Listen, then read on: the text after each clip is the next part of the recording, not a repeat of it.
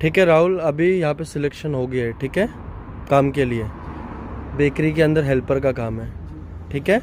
सब duty salary room company का है ट्रांसपोर्ट कंपनी का है, दो साल तक काम करना है। सब क्लियर कर दिया है। आईडी मेडिकल चेंज स्टेटस सब कंपनी कराएगी सैलरी में से एडजस्ट करेगी, ठीक है? बाकी सब क्लियर करवा दिया है। यहाँ पे हेल्पर का काम है। काम भी आपको बताया, काम क्या है अवन में से सब केक्स निकालना है और वापस ये करना, यही सब आपका काम है। करोगे ना दो साल तक? सही है? ओके दो साल से पहले जाओगे तो कंपनी में पैसा जमा करना पड़ेगा छोड़ के अगर गए तो। ठीक है? तो दो साल तक कम करना है आपको। सही है? ठीक है।